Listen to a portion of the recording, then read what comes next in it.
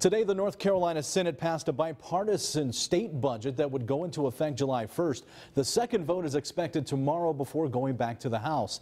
WNCT's Brandon Truitt has been working on a breakdown of the budget. He joins us now to explain. Brandon. Ken, the Senate voted through the $23 million budget after its second reading. Some of the highlights include increased teacher pay and money for school infrastructure.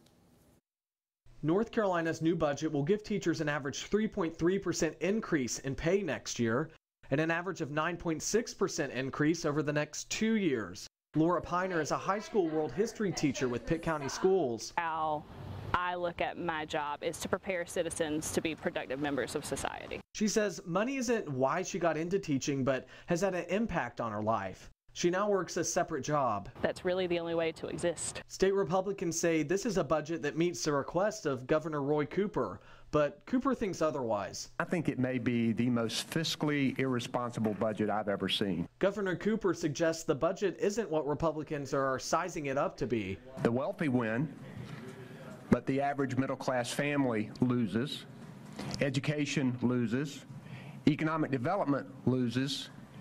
People struggling with opioid abuse lose. The budget will put $10 million towards fighting opioid abuse, but North Carolina Democrats say that's just a start. It will also use $100 million from the education lottery for rural schools construction projects. As for teachers' pay, Piner says she's thinking about the future of education in North Carolina. It's not going to be enough to recruit the best and the brightest into our classrooms.